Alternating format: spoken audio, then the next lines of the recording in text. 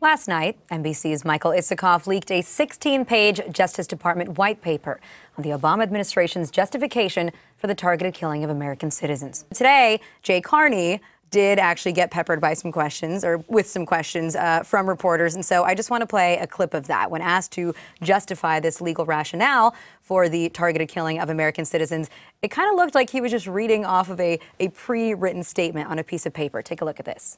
Uh, you know, we have acknowledged, the United States, uh, that sometimes we use remotely piloted aircraft to conduct targeted strikes against specific Al Qaeda terrorists in order to prevent attacks on the United States and to save American lives.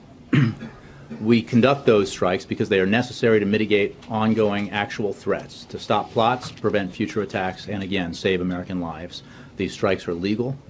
Uh, they are ethical and they are wise. Right. Well, that's the whole interesting thing about this is that they do have to read those prepared statements because if uh, because you know he's speaking from the podium for uh, on behalf of the White House, I'm sure some DOJ lawyer could find a way to wrangle him out of it or try to wrangle him out of it if the FOIA if uh, he did mention something that maybe specified the agency at which um, which was conducting these operations. But that's been one of the ways they've gotten out of uh, turning over this some of the you know documents on on drones is by you know saying you know uh, essentially representing that no government official had ever acknowledged the specific agency which was conducting uh, these uh, these operations, and saying that you know we only spoke about them in in sort of broad terms. So you're not um, you know, and not acknowledging the formal existence of an OLC memo. Um, uh, is also sort of uh, you know one of the ways they've wrangled around it. And you actually had you know a judge in in this case uh, acknowledge. I think I have the the quote here. Um, this was a situation where uh, she called it, I believe, Alice in Wonder,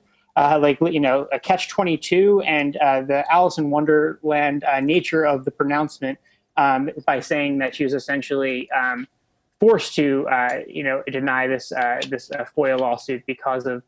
the way that they had sort of gotten had the broad discussion about the legal restrictions, but not gotten any, into any of the specifics that would allow someone to ha- have standing in a FOIA suit.